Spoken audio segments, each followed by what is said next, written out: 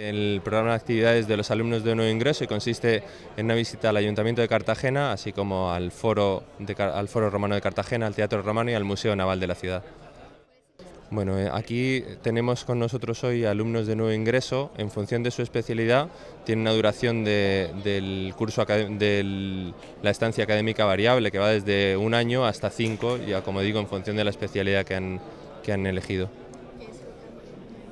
Pues aprenden de todo a día de hoy en consonancia con, los planes de estudio, tienen una formación muy completa, tienen eh, ya como digo en función de la especialidad, tienen asignaturas eh, concretas para cada curso y aparte de la formación académica es importante resaltar que además de todo pues, en una formación o van a adquirir a lo largo de estos años una formación militar para ser oficiales del Ejército del Aire. Bueno, necesitan trabajo, sacrificio e ilusión y con eso pues a lo largo de estos cinco años o del periodo que estén, pues eh, todos o casi todos consiguen lograr su objetivo.